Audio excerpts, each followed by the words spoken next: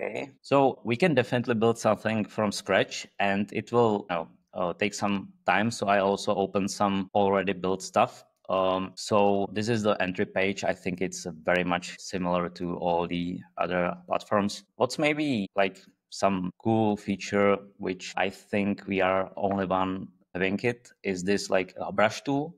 If you open it, uh, you have this like cool canvas uh, environment, which is uh, which is uh, supported or it's made by TLDraw, which is a very cool company. And what you can do here is actually you can you can either you know sketch some prototype if you want, or you can upload images here and use it as a mood board, or you can even generate AI images, which I will do right now. We can create some presentational website for let's say say for kindergarten. So create logo for named uh press. Yeah, let's generate it. And do you think that, for example, image will be kind of a better approach than just a like simple prompt, or or how do you compare it with the prompt text? Yeah, what's interesting is that if you generate this image, it influences the design a lot. So we are here we are using this like open ai gpt image which is i would say currently the best model. It creates a like really nice illustrations but it's kind of slow. But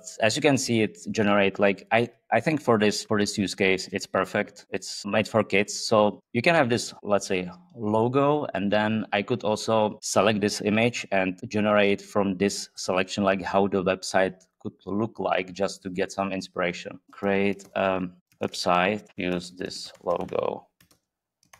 It's for kinder. Because also i noticed some that some of the web coders are that uh, using figma or like pinterest designs and then they actually upload it so yeah. much better. But also I, I have seen some some people they take the image and then they generate ai like kind of images you know from that and like kind of prompting okay just do this do this. So in the end you are fine tuning it a lot and then you just get you know the final one after five or six versions and then kind of like you push that to your app and then it will look very native type of thing. Yeah uh, my experience is that when you uh, like use this uh, these images usually get like uh, more it's not that generic kind of website. So as you can see it created uh, let's say logo and then how the website could look like. Right now i can uh, select the first image and export it to the to the chat and I will export separately the second image as well. And when I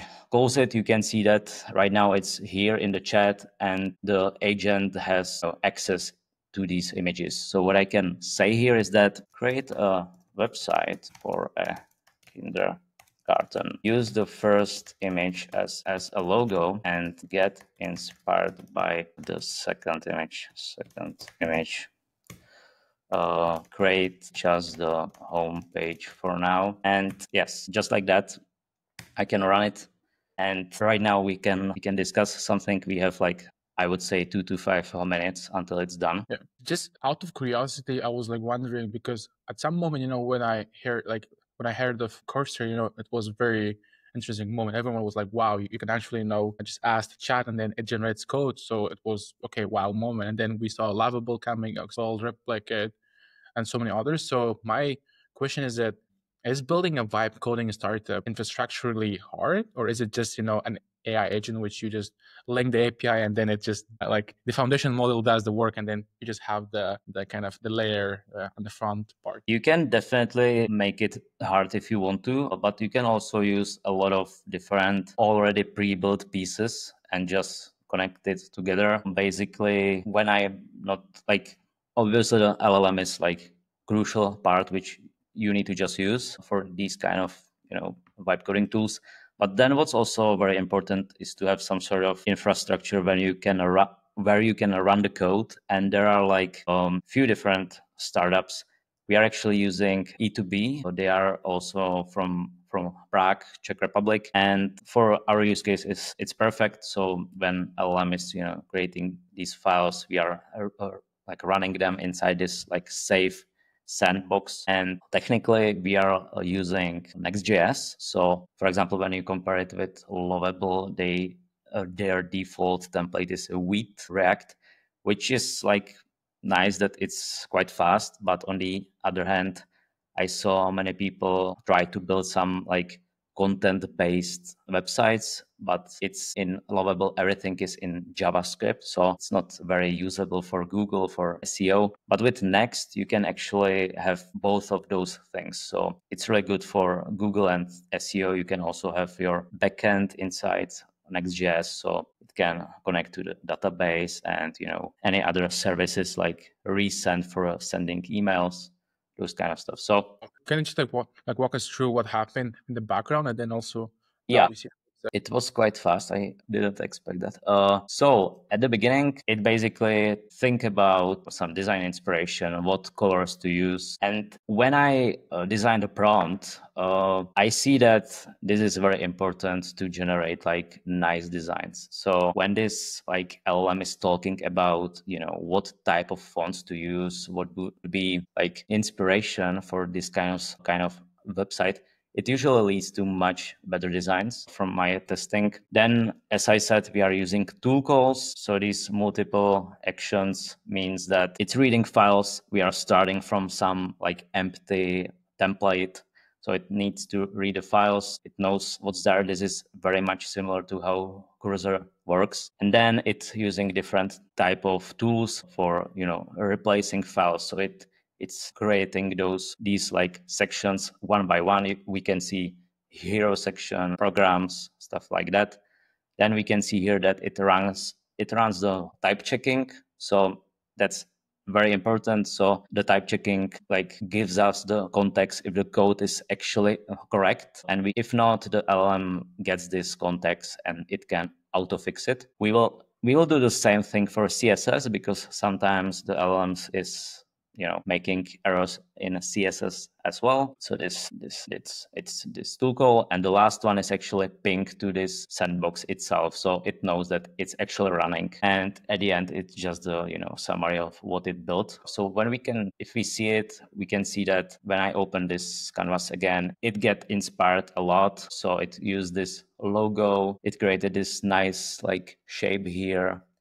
It's talking about some programs. We have some testimonials, and that's like pretty much a simple web page.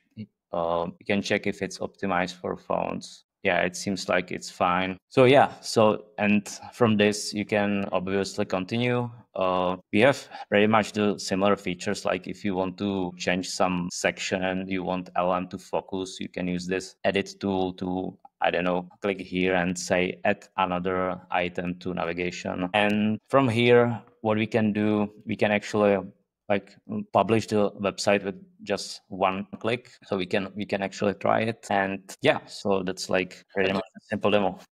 We talked about the database.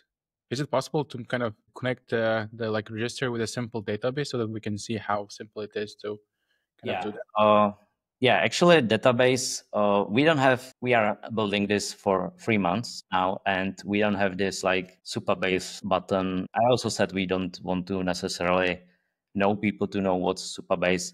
So right now we don't have like super seamless connection to database. That's on our roadmap. So uh, right now, if you want to connect it with the database, you would need to have some, you know, account somewhere. Like you could use pretty much um, everything to use, yeah, you know, Supabase or you know SQLite or even uh, MongoDB. That's still fine, but you need to do it yourself.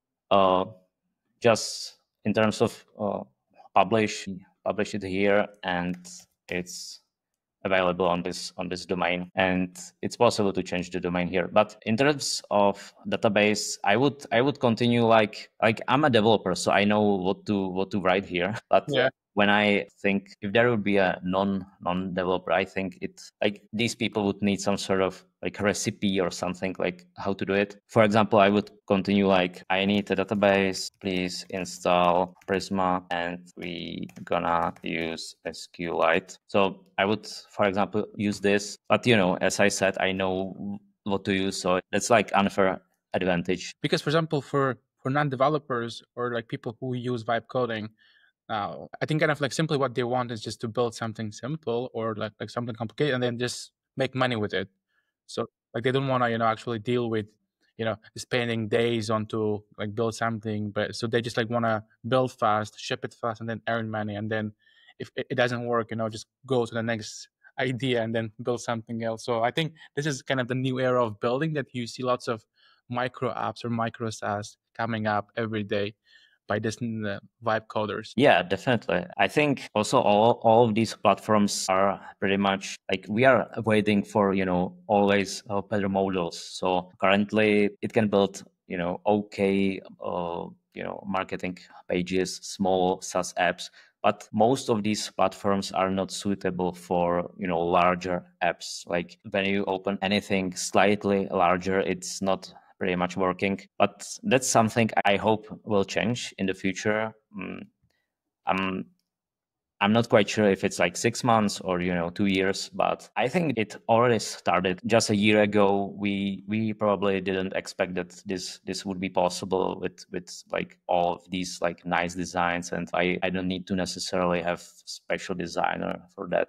So it's moving super fast. So I have a couple of different like already built websites for example, my uh, my favorite use case is to actually use Macaly as a presentational software for creating slides because I kind of hate creating slides, but with Macaly or I guess any other vibe coding tool, it's quite fun because you can just say what you want to present. So this is my like favorite party trick when I showing this I'm actually doing most of the time some sort of full screen and at the end I always show the UI and say it was all built in in Macaly. It was interesting to see the first slide that how to pronounce Macaly, you know?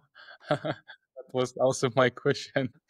Yeah, that was actually more like a joke for Czech guys. Yeah, uh, just maybe for the podcast, like Macaly in Czech meaning is like to work hard. So that's that's just the uh, the reason why I uh, explain it.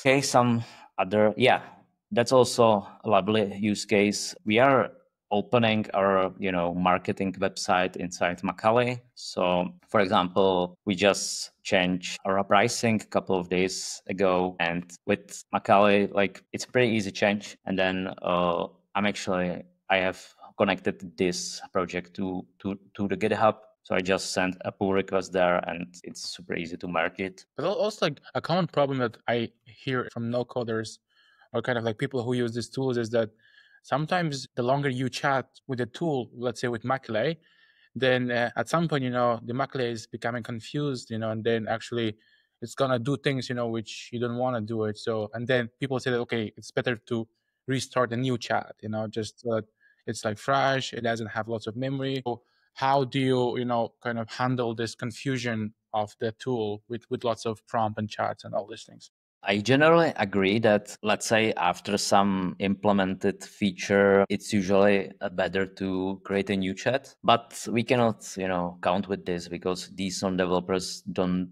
know it. Like, I think, I think that's pretty challenging. Like, how to do it when someone would have still the one chat and already sent hundreds of messages. We are currently changing it, but we are not doing something like overly com- com- complex. What what we are doing is that these like answers from assistant or from Macaly, they are usually quite long because there is a, a lot of code and stuff. And just a very simple thing to do is to like just summarize what the Macaly did. So I'm always think about it like when I would read it, uh, when you would print it on a paper what happened you should understand it. If you understand it there is a high chance that llm will understand it. Yeah i think this summarization like helps a lot but it's not necessarily infinitely scalable. Then what you could do like there is so much like so so many ideas like how to solve it but I I guess there would be also some something from the providers itself because everyone is trying to solve this and when everyone is trying to solve something usually the providers come and they will say hey do it this way or or they will have some new API similar to OpenAI where you don't need to solve it at at all. Yeah, so for example this this demo just showed that you can also have you know some API. This one is connected to OpenAI. So when I say something here, hello there, it should just like respond. So, and that's like because it's using like our Next.js. So Next.js is also like server side framework. So I think it's more flexible than just Vite. Thank you so much, Peter, for such a nice demo. No problem.